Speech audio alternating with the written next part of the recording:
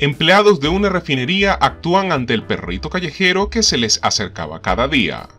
Ya sean policías, bomberos, rescatistas, terapeutas emocionales o incluso empleados u obreros, es increíble el talento y aptitudes que los perros pueden llegar a tener para desempeñar labores fundamentales dentro de la sociedad. Un adorable callejerito llamado Perrote es el único canino ampliamente conocido en su zona por ser un perro obrero.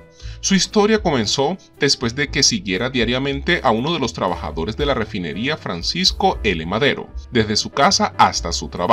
Con el paso del tiempo, este can se convirtió en el mejor amigo de toda la empresa petrolera perteneciente a Pemex, Petróleos Mexicanos, y su sucursal, en Tamaulipas. Ahí se dedica exclusivamente a brindar amor y compañía a los ajetreados empleados, hecho que le valió un contrato de por vida como un miembro más del equipo.